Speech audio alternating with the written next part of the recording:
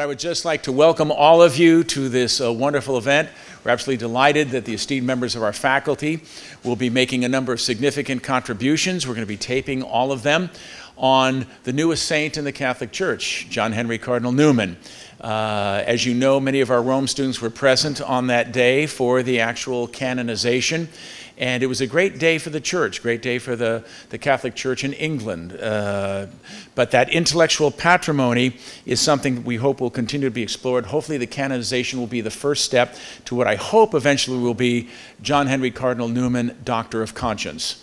And I think that would be a great thing to see, a great title for him to have uh, within the church. So without further ado, I'd like to pass it over now uh, to Mark Roleno, who will introduce our distinguished speaker this evening.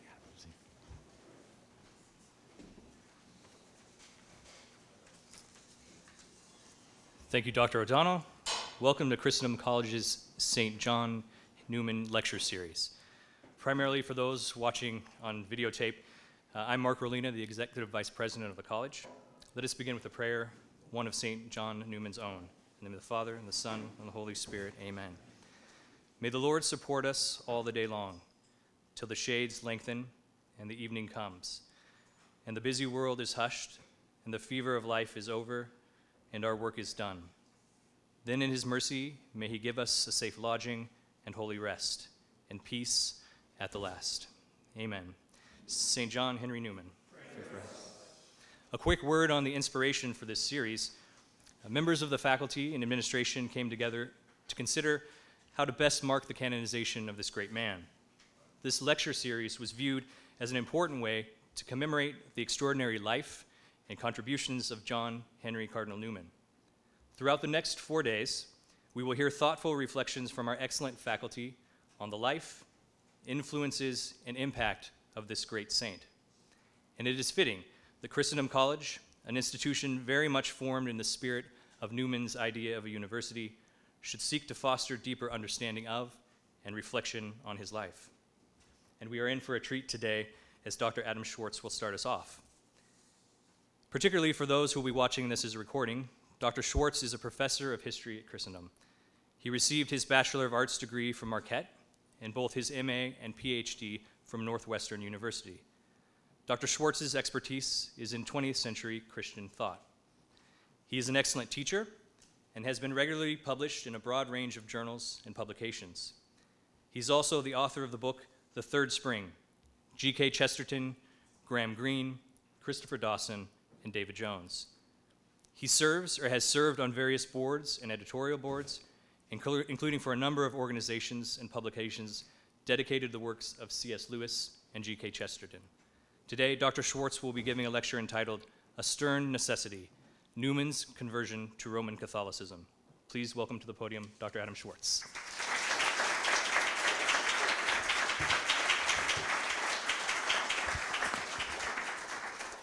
Thank you very much, Mark. Um, I want to thank, first of all, everyone who is here. Thank you for coming out on this beautiful October day uh, when you could be doing a lot of other things, so thank you for being here.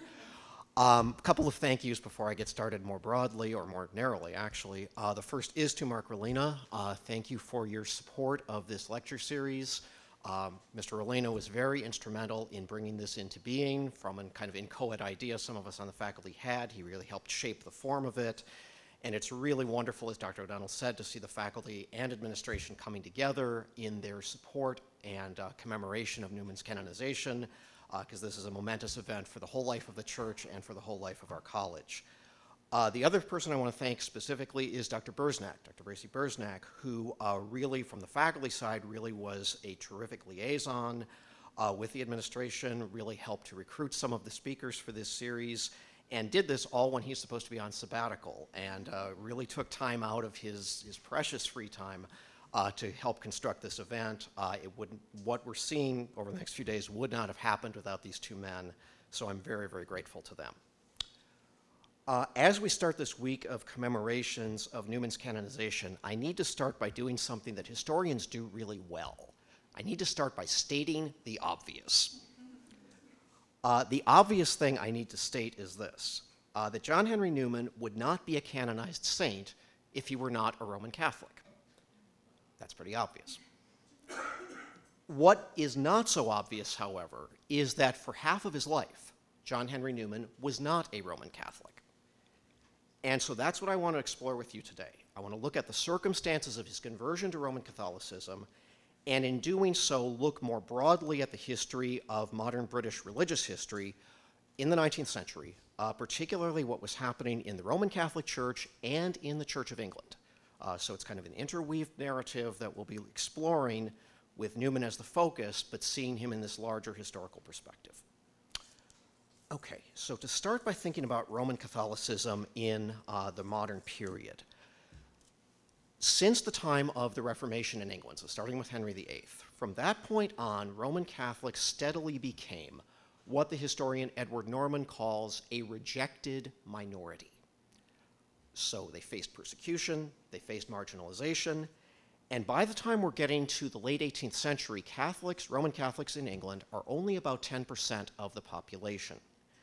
Uh, so this is a group that is very much on the margins of society.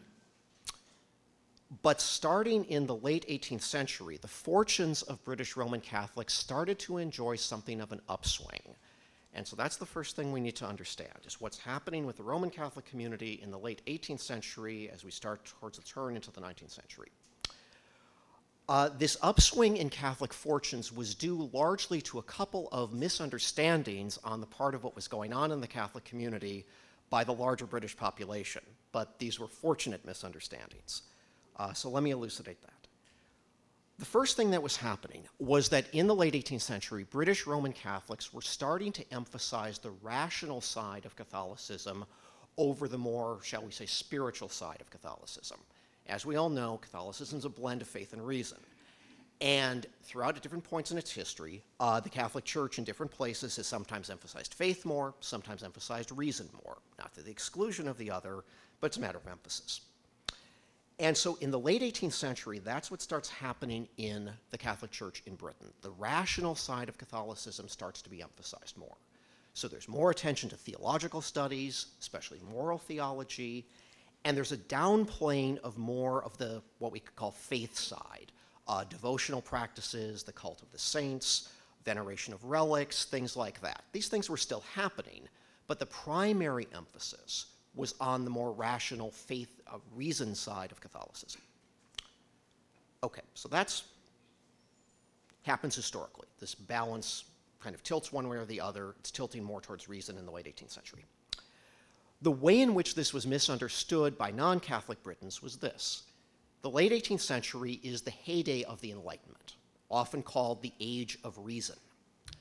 And so, what non Catholic Britons perceived, wrongly, but they perceived, was that Catholics were becoming rationalistic, that they were starting to embrace unaided reason as opposed to reason in balance with faith, and thus were get, putting aside their sort of superstitious practices. They were becoming more like the mainstream intellectually, and were becoming more reasonable, more rational, and thus more like the rest of society. Now, that's not what Catholics were doing they were emphasizing reason in a very different way than the Enlightenment idea of unaided reason. It was always a reason in tandem with faith. But that misunderstanding redounded to Catholics' benefits because it broke down some of the prejudice against Catholics that had existed about them being these kind of people who followed these weird superstitious practices, and thus made them seem more normal, and thus tolerance for Catholics started to grow. So that's the first thing that's happening. The second thing that's happening in the Catholic community is that there's a growing amount of grumbling about what they saw as the heavy hand of Rome over the English church. And to understand this, we need to know that since the time of Queen Elizabeth, so this is going back to the 16th century, the Catholic Church in Britain had been considered missionary territory. So it did not have a hierarchy of bishops, it was ruled directly from Rome. And by the late 18th century, uh, British Catholics were starting to chafe at that direct rule from Rome. They were starting to feel that Rome had often misunderstood the cultural context in Britain, didn't really know the um, ins and outs of Catholic life in Britain, their relationship to the state, and were questioning Rome's prudential judgment. So they were still accepting Rome's spiritual authority. That was never in question. It was Rome's prudential judgment as the direct ruler of the church in Britain that they were questioning. But this was another subtlety that was lost on non Catholic Britons. Non Catholic Britons saw Roman Catholics as finally throwing off their allegiance to a foreign potentate. And this had been one of the big prejudices against Catholics in Britain up until this time. Catholics were guilty of dual loyalty, that their loyalty to the Pope was greater than their loyalty to the crown. And so when they hear Catholics grumbling about the papacy's prudential judgment, they think, good. Catholics now finally understand they shouldn't be enthralled to this autocrat in Rome. They're now politically reliable citizens. And so therefore we don't have to distrust them politically anymore. We can start to treat them more like fellow British subjects. So these are two big misunderstandings that's going on of what's happening in the internal dynamics of the Catholic community, but it has beneficial effects. So it's kind of a creative misunderstanding that's beneficial to Catholics. Because this greater tolerance for Roman Catholics results in some very important legislation in the late 18th century. Uh, both in 1778 and then again in 1791, the British Parliament passes laws guaranteeing the property rights of Catholics in Britain. And this was a huge step forward because since Reformation times, especially since Henry VIII's confiscation of the monasteries, Catholic property rights had not been guaranteed in law. Now they were. And so that's a big step forward for Catholic acceptance in the larger society. And so, as we get to the turn of the century, as we now get into the 19th century, Catholics are feeling buoyed by these gains. They're feeling we've had our property rights restored, our economic rights restored. Now we want our political rights restored. Because another aspect of being a rejected minority is that at this point in history, the 19th century, Catholics could not vote and they could not serve in Parliament. But with their economic rights restored, Catholics now start putting on a push for what they called full emancipation the right to vote, and the right to serve in Parliament.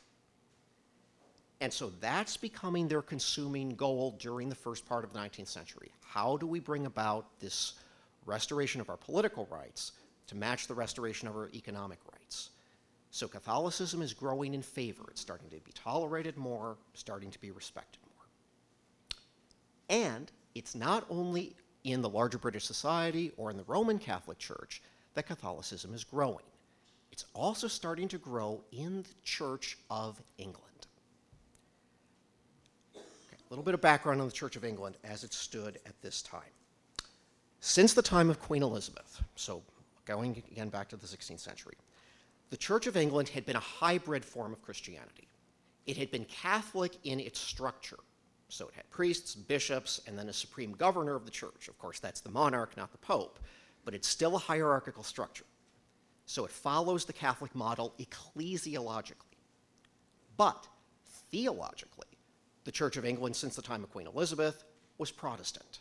So on all the controverted issues between Catholics and Protestants, it had taken the Protestant position. And this, what was called the Elizabethan settlement, was done so deliberately to provide this hybrid form of Christianity, Catholic in structure, Protestant in doctrine, in order to provide a church that could appeal to a broad range of English people. And so that's the way the Church of England still was at the turn of the 19th century Catholic in structure, Protestant in doctrine. But what starts to happen in the 1820s is that a group of scholars at the University of Oxford begin calling for a change in this model of the church. They want to retain the Catholic structure, but these scholars at the University of Oxford now want to start introducing Catholic theology into the Church of England.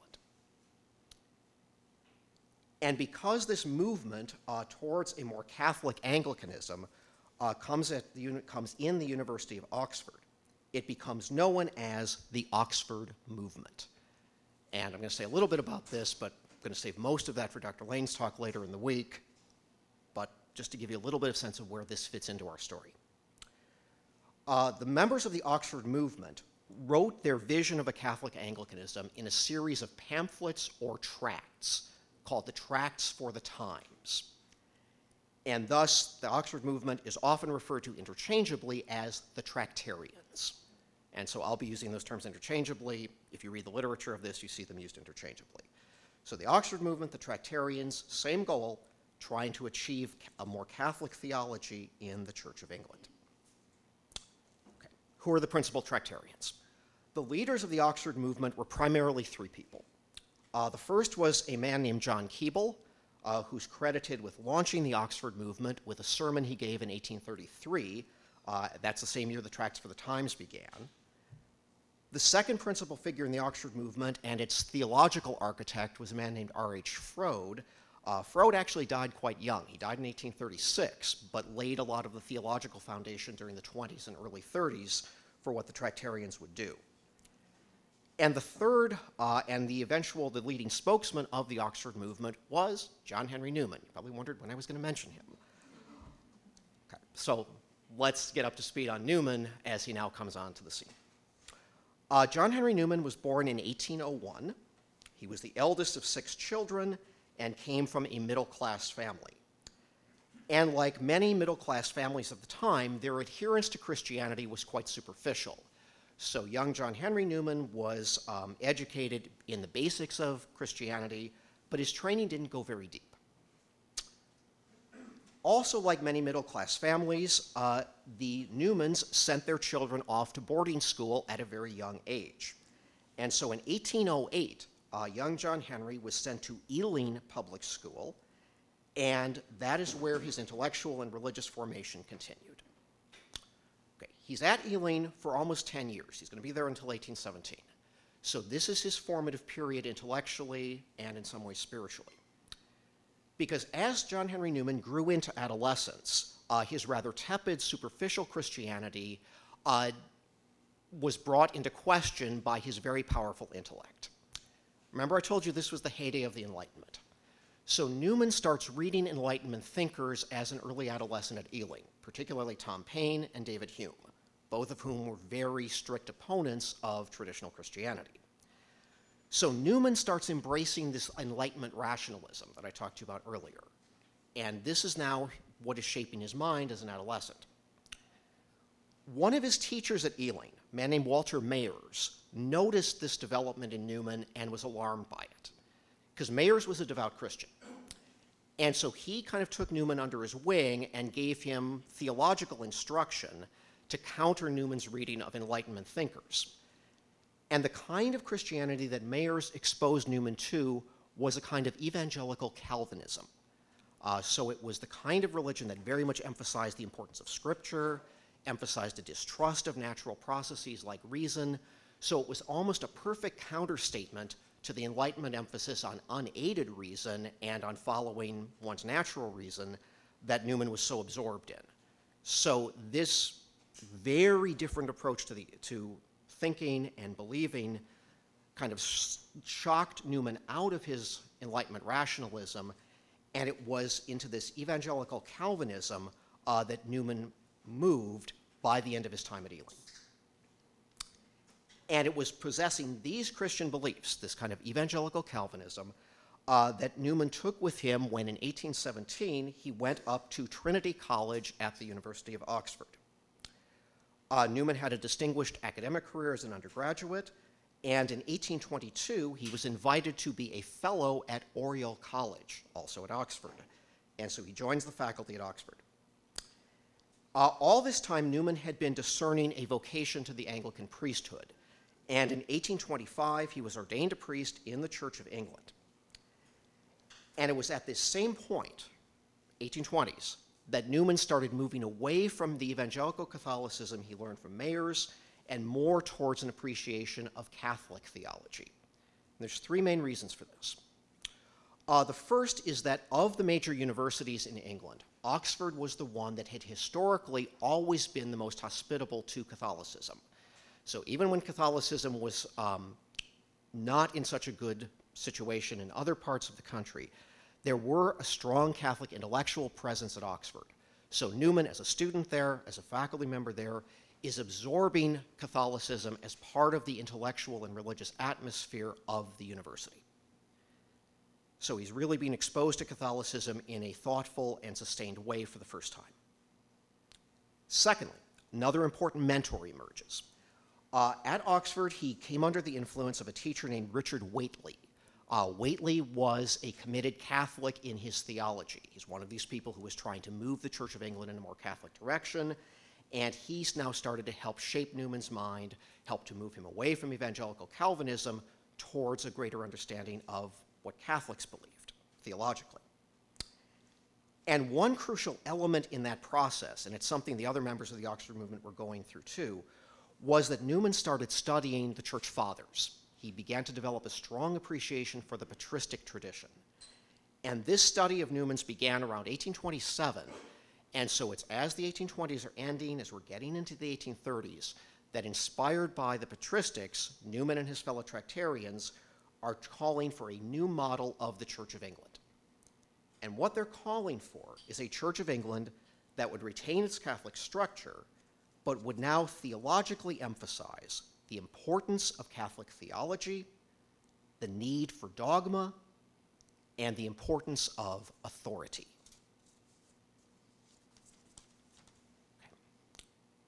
So there's a couple of things that are going on in the inspiration for this model. The first is a positive vision of what they want the Church of England to be, what the Tractarians want the Church of England to be.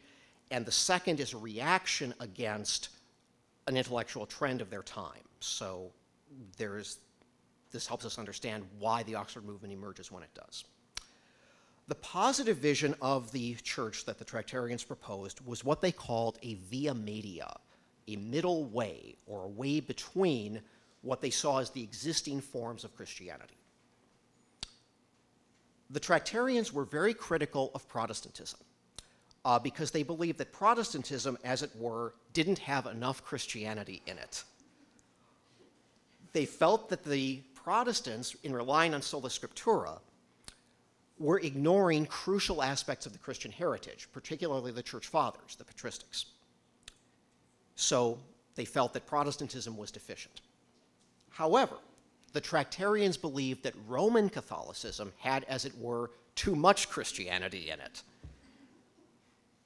They thought that the Roman Catholic Church had added on doctrines illicitly since patristic times, particularly teachings concerning Mary, but not just those, other things as well. So they thought Roman Catholicism, Protestantism is defective, Roman Catholicism is excessive. It's teaching things that are not valid Christianity. So for the Tractarians, their authority in religious matters was not just Scripture, as it was for the Protestants, nor was it the Roman magisterium, as it is for Roman Catholics. It was the Church Fathers, it was the patristics. And in fact, Newman articulated this very clearly uh, when he said that Rome's flaw, in his mind, was that, quote, it substitutes the authority of the church for that of antiquity. So for Newman, for the Tractarians, it's antiquity, it's apostolic and patristic teaching. That's the authority that determines valid Christianity. So that's the positive vision. A church, unlike any other that currently existed, they thought, that was Catholic in theology, grounded in the patristics, and didn't have the deficiencies of Protestantism or the excesses of Roman Catholicism. It's kind of like the Goldilocks approach to religion, it's just right. So that's the positive inspiration. The negative inspiration, as it were, the thing that the Tractarians were reacting against, was the rise of, during this period, of an intellectual movement called liberalism. And before I proceed further with this, we need to divest ourselves of the normal connotations of that term. Normally, when we hear the word liberal, we think of someone who's left of center politically. That's not primarily the kind of liberalism the Tractarians were talking about. What they were talking about was a philosophical and theological set of uh, principles that they became strongly opposed to. For the Tractarians, liberalism was, in Newman's famous phrase, the anti dogmatic principle. The anti dogmatic principle. And what Newman meant by that is this that for a liberal, at least a liberal of this sort, 19th century liberal, liberals of this time believed there was objective truth. However, they felt that that truth must be reached by each person through the exercise of his or her free reason. That there was no external source of truth. There was nothing that could speak dogmatically to a person about what was true. And so, for a liberal, the way you attain truth was not by relying on dogma from external agency, it was through your free reasoning process. That's what would lead you to objective truth. Now, Newman felt that there were certain crucial implications to this anti dogmatic principle. First of all, he thought that the anti dogmatic principle bred a disregard for authority. Because in liberalism, every person is his own authority. It's very individualistic. It asserts that through the use of your free reason, you discover what the truth is, and so you don't derive that authority from another, you're your own authority. Similarly, uh, Newman felt that liberalism bred a disregard for precedent. And if you don't like precedent, think tradition. Because for a liberal, tradition is simply data. It's simply you investigate to try to discover what is true and good, but it has no prescriptive value. It should not be privileged in your deliberations. There should not be deference to the way things have been done in the past. And so for a liberal, tradition, precedent has no special value in weighing what's good and true. And so, it, in Newman's words, it breed, liberalism breeds a disregard for precedent. And thirdly, Newman thought that liberalism bred what he called a naive dream of our race's progress and perfectibility. And by race here, he obviously means the human race. A fundamentally naive dream of our race's progress and perfectibility. Because for a liberal, the source of human unhappiness is something external to human nature, it's something outside of man. The thing frustrating people's happiness, a liberal says, is dogma. It's this imposition of what's good and true from the outside. So when dogma is dispensed with, a liberal would contend, that is when intellectual progress can be made, as people freely reason to what is true. That's why it's called liberalism, it's emphasizing freedom. And that with that free reasoning, that's what produces human flourishing. Now, the Tractarians became the fiercest critics of liberalism of their time because the Tractarians very much believed in the dogmatic principle that there is an external source of truth that does tell us what is good and true and that we use our freedom to conform to. And so the Tractarians professed a great regard for authority. They're looking to an external source for knowledge of what's good and true. And that authority for them, as we've already seen, is precedent, it's tradition. It's looking to the patristics, to the church fathers. And to Newman and the Tractarians, that is what would promote human flourishing. Because to say that people, through their free reason, can discover what is true, the Tractarians believed, ignored the fact, as they saw it, of original sin. That human nature unaided cannot attain fulfillment, that it needs to be guided by dogma, by authority, by tradition, to guide the use of freedom so that it conforms to revealed truth.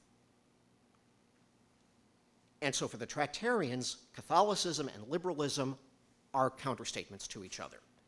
And therefore, in their minds, a Catholic Anglicanism was necessary, not just as a positive vision of the church, but to combat the growing presence of liberalism within the British society.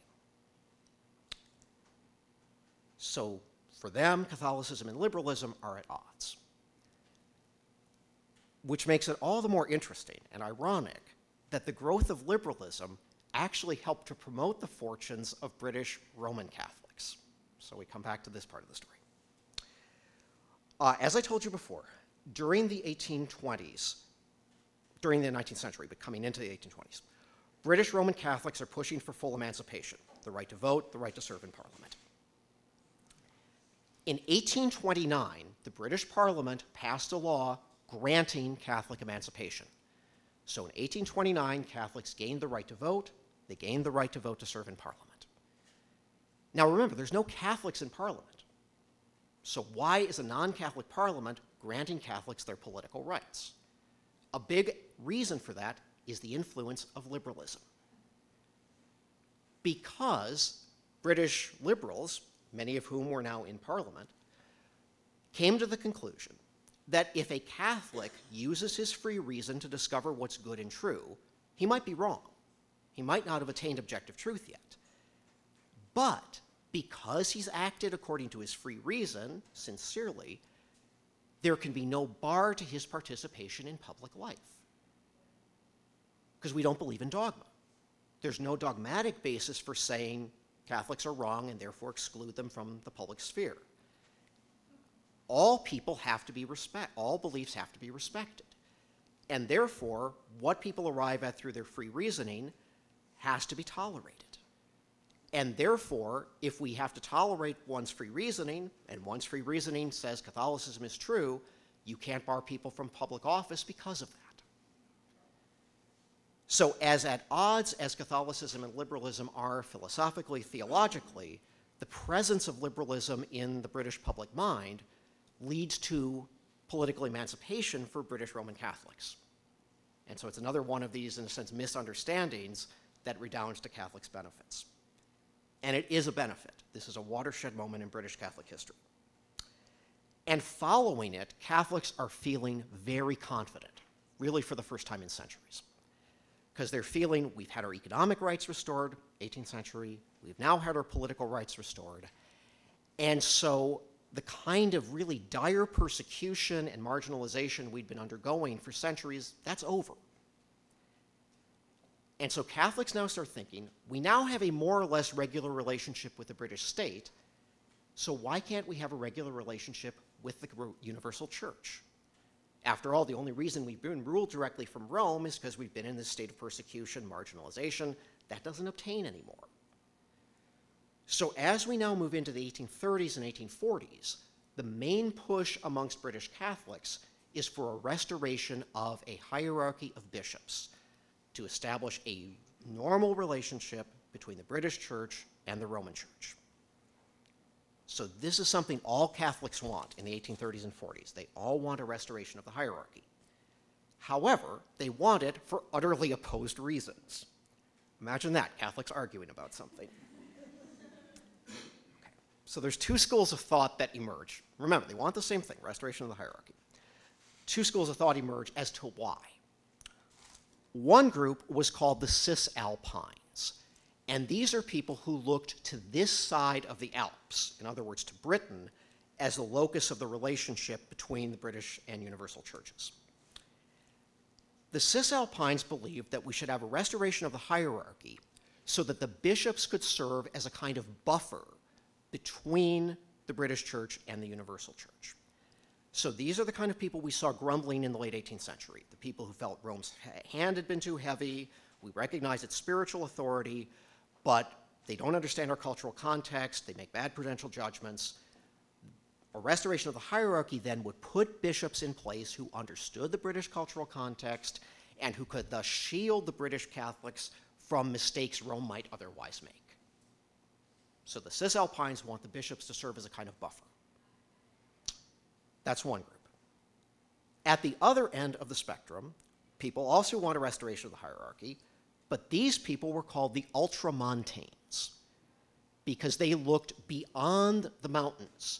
They looked to Rome as the locus of the relationship between the British and Universal churches. Now, the Ultramontanes acknowledged that there had been tensions between the British Church and the Universal Church but they regretted that. Uh, they felt it was all a lot of misunderstandings. And so they wanted a restoration of the hierarchy so that the bishops could serve as kinds of translators. Being British, they would understand the state of the British church and be able to communicate that to Rome. But being appointed by Rome, they would also understand Rome's perspective, they'd understand the Vatican's position, and be able to communicate that to their fellow British Catholics. And so the bishops in this model, the Ultramontane model, would smooth out these kind of differences that had obstructed harmonious relations between the two churches, the British Church and the Universal Church, and would promote a harmonious, close relationship rather than a distant one. So, utterly different perspectives on the same goal. As it turns out, uh, it's the Ultramontane vision that is going to prevail and that was principally due to the work of a man named Nicholas Wiseman. Uh, Wiseman was sort of the epitome of ultramontanism in his profile. He was a Catholic priest, born and bred in Britain, so British Catholic. But he was someone who spent a lot of time in Rome, educated there, spent almost 20 years of his life on and off in Rome. So he knew the British Catholic milieu, he knew the Vatican milieu, he wanted to bring them together. And it was due to Wiseman's efforts primarily that in 1850, Pope Pius IX has restored a hierarchy of bishops in Britain. And so the goal of the Catholic community is accomplished in 1850.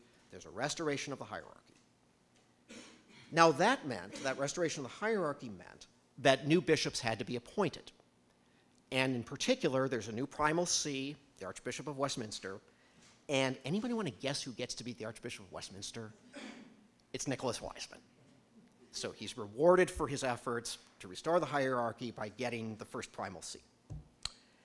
And Wiseman, upon taking on that see, announces a, a very new vision of the Catholic Church in Britain. Because, as we've seen, uh, since the time of the Reformation, uh, British Catholics had been primarily pragmatic in their orientation. They just wanted to survive in a hostile environment. So they hadn't been particularly concerned with ecclesiastical matters. As we've seen, they wanted a distant relationship from Rome. They were kind of cool to Rome. And as we also saw, they've favored a kind of accommodation or at least seeking points of contact with the larger culture, not compromising their principles, but trying to adapt their style. Wiseman, however, as the new primate of England, announces a very different model of Catholicism. For him, he wanted the church in England to no longer be solely pragmatic, so worried about survival, but to be more confident and to be more focused on a hierarchical relationship, a close relationship to Rome, and especially for emphasizing the way Catholics were different from the rest of British society the kind of distinctive role they could play, the particular contribution they could make, rather than trying to sink those differences so that they wouldn't be persecuted.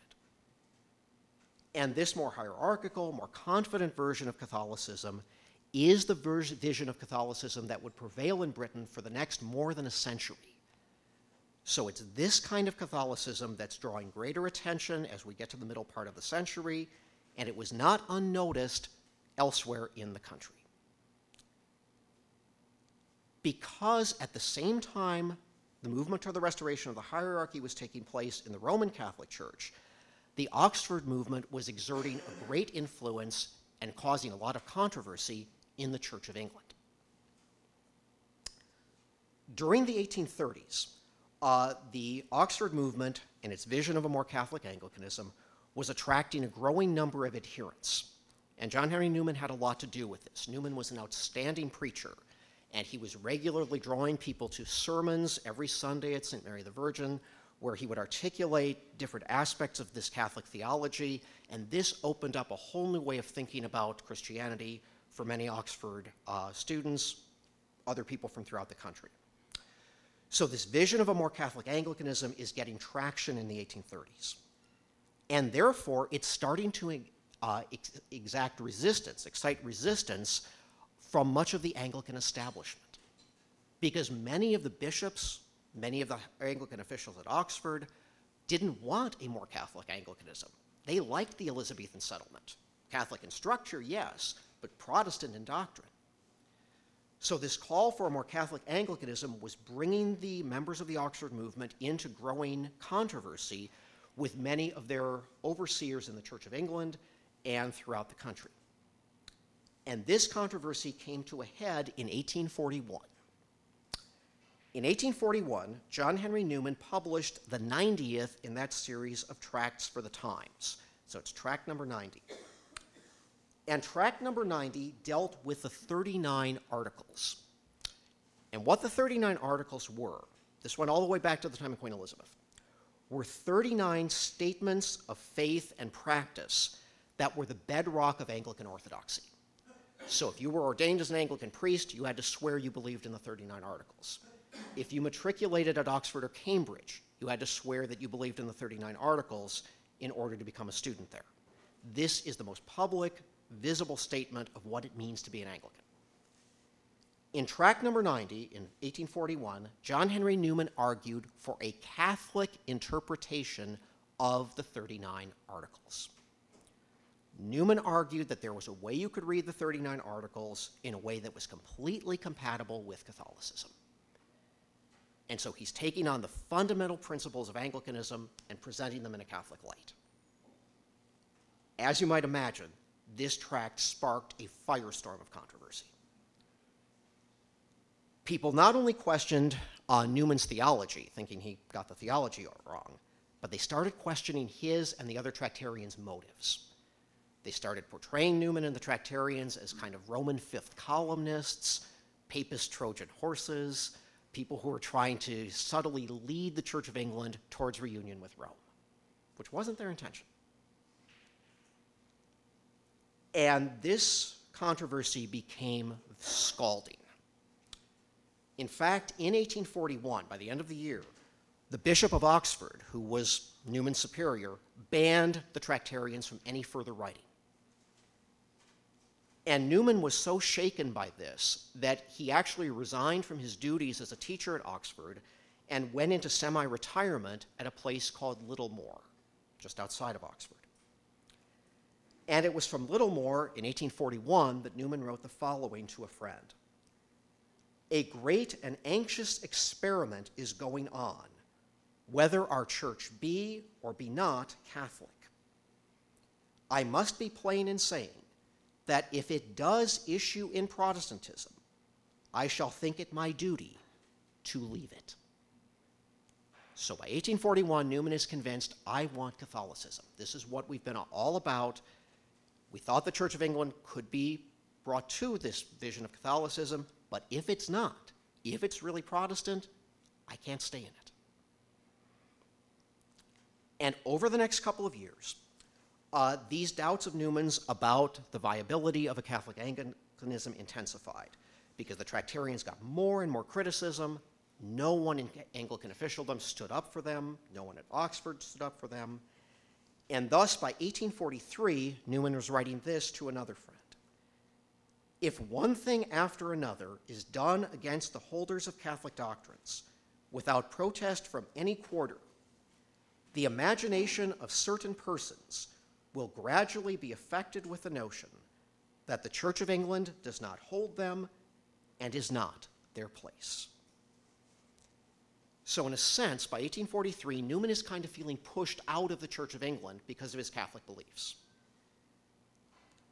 And other things are happening at the same time to lead him to rethink the viability of a Catholic Anglicanism. One thing that's happening is Newman's academic work uh, because Newman wasn't just a controversialist, he was also a scholar. And this is what I think Dr. McGuire is going to talk about on Wednesday. As Newman studied the patristics, ancient church history, he came to the conclusion that authentic Christianity was grounded in the apostolic succession. That the church that could trace its lineage directly back to Christ and the apostles, that was the true church. And as he studied early church history, Newman started to notice a pattern. The pattern he noticed was that Roman Catholicism had always kept faith with the apostolic succession. There was always that direct lineage back to Christ and the apostles. But every other Christian movement that emerged at some point broke that communion with Christ and the apostles and forfeited its legitimacy. Now, Newman's mind, more than most people's, worked by the principle of analogy, seeing parallels between things. And as he's studying this ancient church history, he's brought up short by a parallel that he now sees to his own time. Because Newman starts to see, by 1843 or so, that Roman Catholicism still has the apostolic succession. It can still trace its lineage directly back to Christ and the apostles but no other Christian movement can, not even the Church of England. Newman put it this way What the See of Rome was then, such it is now. What the Monophysites were then, the Anglican hierarchy is now. That ancient history is not dead, it lives. If the Via Media was heretical then, it is heretical now. So, this whole project of a Catholic Anglicanism, Newman is starting to believe, isn't viable because it lacks that authenticating connection to Christ and the apostles. Roman Catholicism has that. So, Roman Catholicism has historical authenticity. But this raises a big problem in Newman's mind because this is the same church, Roman Catholic Church, that's added on teaching illicitly to the apostolic deposit. So, how can this church be historically authentic but not theologically authentic? This doesn't make any sense.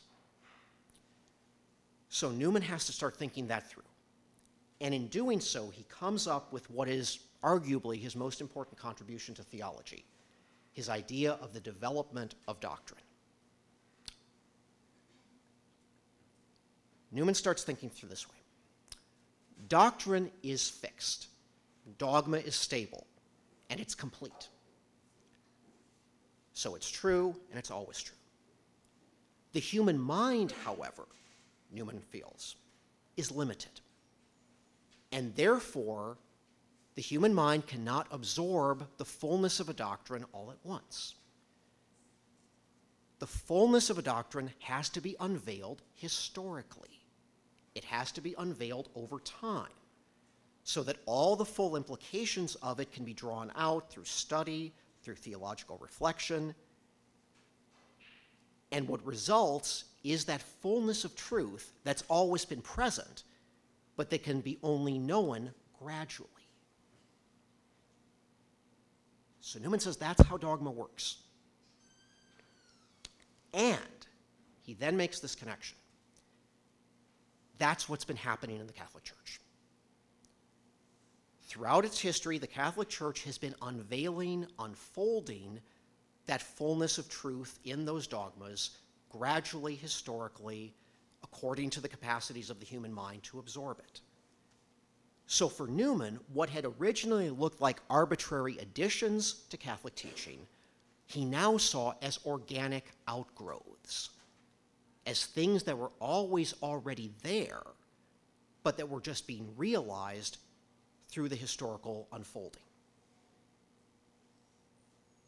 And he articulated this breakthrough in 1843 to John Keble.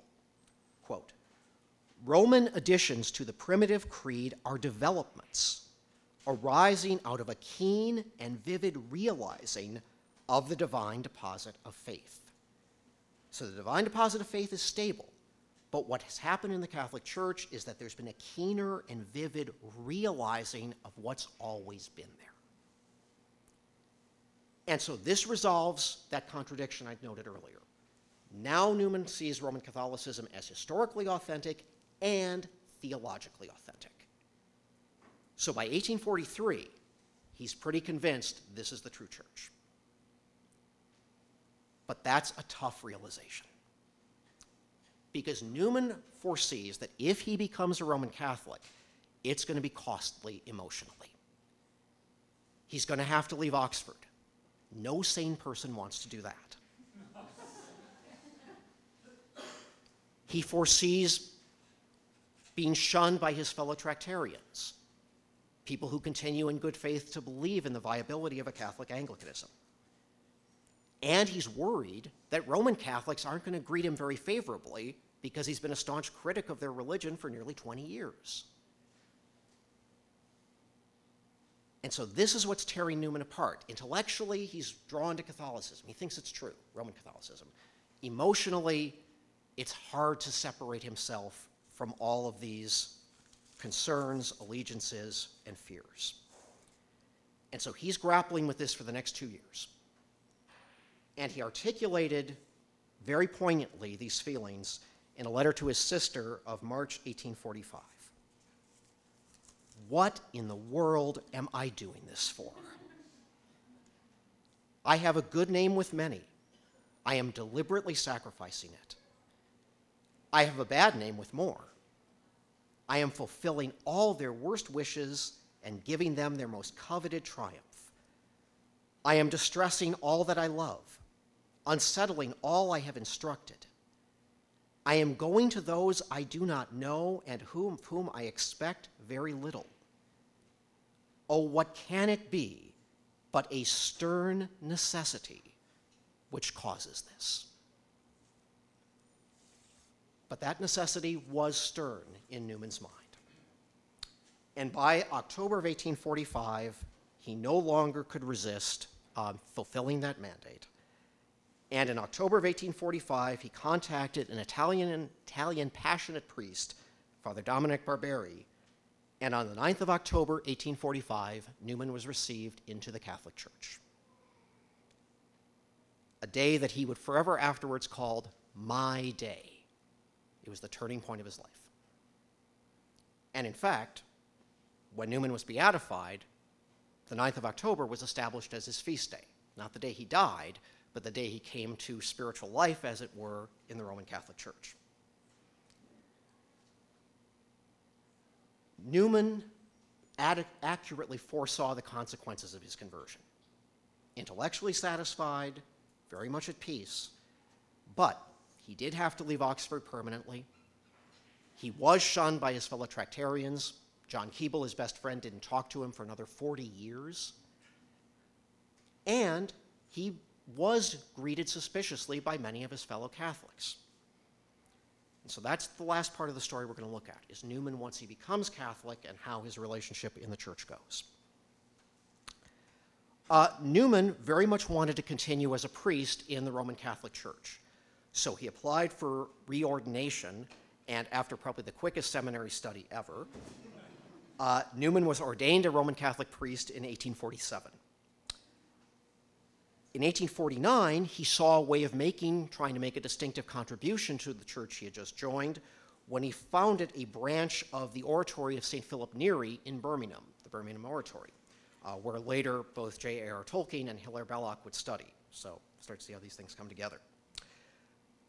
But even so, even as Newman was trying to find his way in the church, he was encountering a lot of resistance, uh, particularly from people who had been suspicious of him as a critic of the church, uh, people who weren't quite sure where he stood theologically, his idea of development raised some eyebrows. And so Newman's relationship to the church really reached its crisis point, but also its turning point uh, in the 1860s. And the focus of that turning point was the larger debate in the Catholic Church on papal infallibility. Because by the late 1860s, Pope Pius IX was eager to provide a clear definition of papal infallibility. Now, this is something that had existed in the church for centuries. People had always had a sense, well, the Pope can speak infallibly. But the parameters of that had not been thoroughly defined. By the 1860s, Pope Pius IX felt it was important to make such a definition for a couple of reasons. First of all, by the late 1860s, the papacy was losing its political control over the papal states in Italy due to Italian unification. And the Pope wanted to try to make some kind of statement that the loss of political authority doesn't mean the loss of spiritual authority. And secondly, uh, Pius IX, just like the Tractarians, uh, was very concerned by the rise of liberalism, this anti dogmatic principle, this rejection of any kind of external authority. And Pius IX felt that if the church could define the parameters of papal infallibility clearly, uh, that would be a reassertion of the dogmatic principle occasions on which the church could speak dogmatically and thus counter the effects of liberalism. So in 1867, uh, with this end of defining papal infallibility, Pope Pius IX called the First Vatican Council, what became known as the First Vatican Council. And the First Vatican Council, the debate on infallibility, sparked a lot of controversy. And there were several British voices in this debate that represented broader opinion in the church. Uh, one point of view came from the Ultramontanes, uh, people we've met before. And the principal Ultramontane at this point was Henry Edward Manning, uh, who had taken over as Cardinal Archbishop of Westminster after Wiseman's death. Manning wanted a very expansive definition of infallibility to cover faith, to cover morals, but also to cover practical matters, economics, politics, all kinds of prudential judgments. So that's one point of view that was being articulated. At the other end of the spectrum was a point of view represented by the historian Lord Acton, Lord John Acton, who didn't want any definition of papal infallibility because he thought it would be a hindrance to intellectual freedom. And Acton was a strong believer in the importance of freedom. John Henry Newman also weighed in on this debate, but with a typically nuanced position. Newman's perspective on infallibility before the council was what becomes known by the clunky name of the inopportunist, but it does reflect the reality of his position.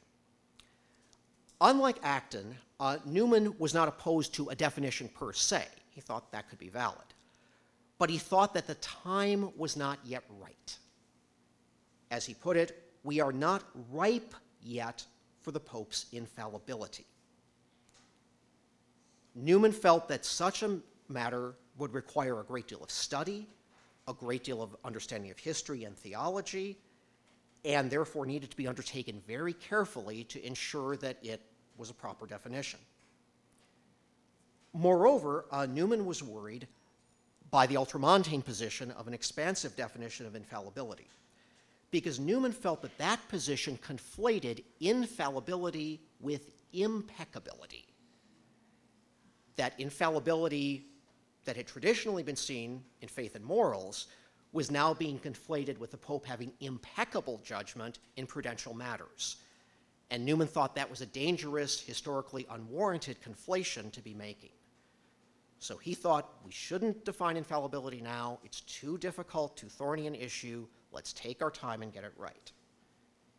However, he wrote to his bishop of Birmingham shortly before the council began, saying that if the council did make a decision, uh, he would recognize it, saying this If it is God's will that the Pope's infallibility should be defined, I shall feel I have but to bow my head to his adorable, inscrutable providence.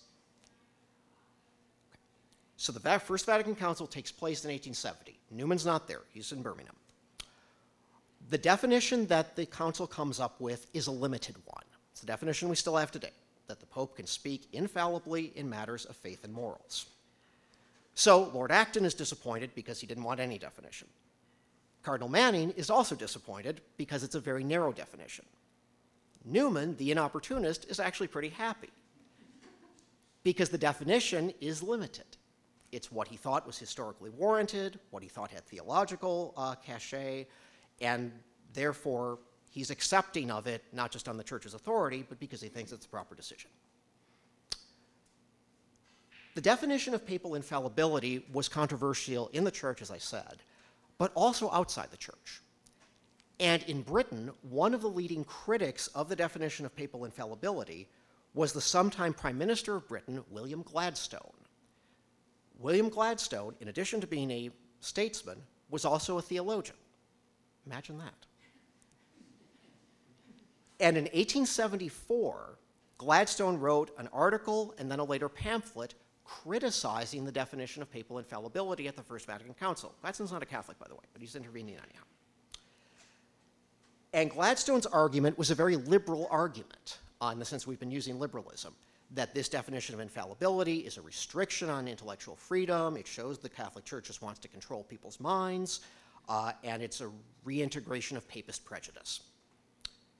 Now, Gladstone, as a statesman, has a pretty high profile, so his views are getting a lot of attention in the British press, in British intellectual life.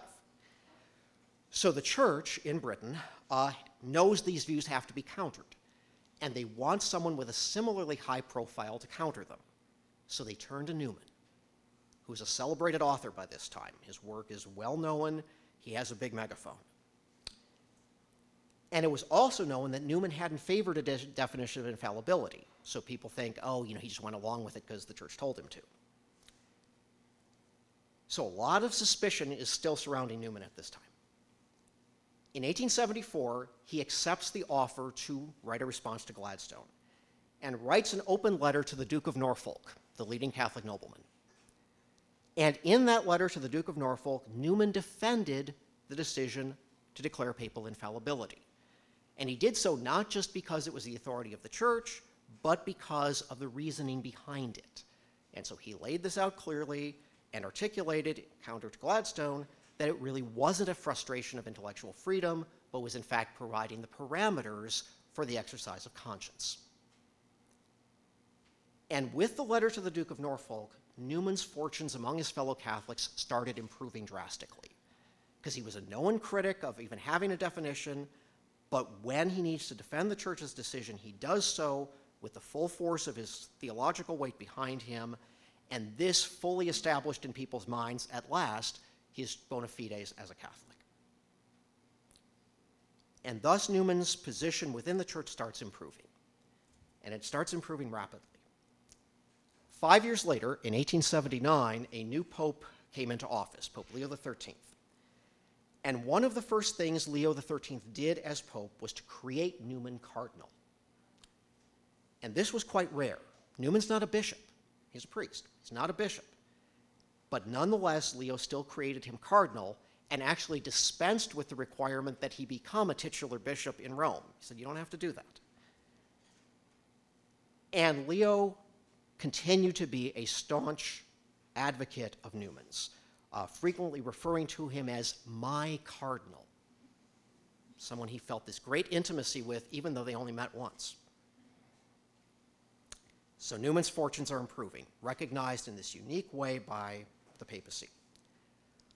Newman died in 1890, but his reputation in the church continued to grow, and particularly in recent times, uh, has reached its culmination.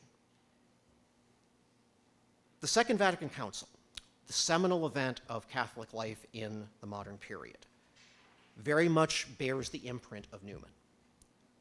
St. Paul VI, who presided over the end of the Vatican Council and much of its proceedings, in fact declared in 1975 that the Second Vatican Council was, quote, Newman's hour. So the Second Vatican Council, very much under the influence of Newman. And many of the fathers of that council, including the future popes John Paul II and Benedict XVI, had a great admiration for Newman. In fact, in 2010, Newman was beatified. And the circumstances of his beatification in 2010 are also unique. Normally, beatifications take place by the bishop in the diocese of the person being beatified. So in this case, the beatification should have taken place by the Bishop of Birmingham.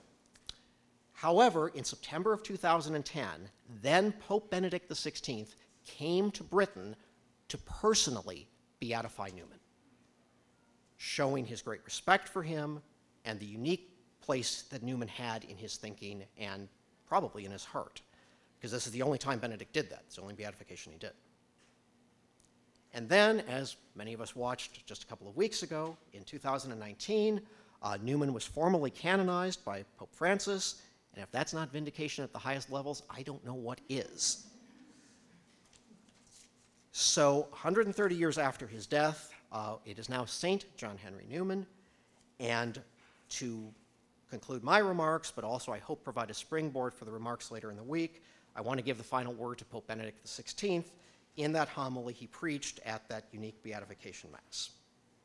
Pope Benedict said this The definite service to which Blessed, now Saint John Henry, was called involved applying his keen intellect and his prolific pen to many of the most pressing subjects of the day.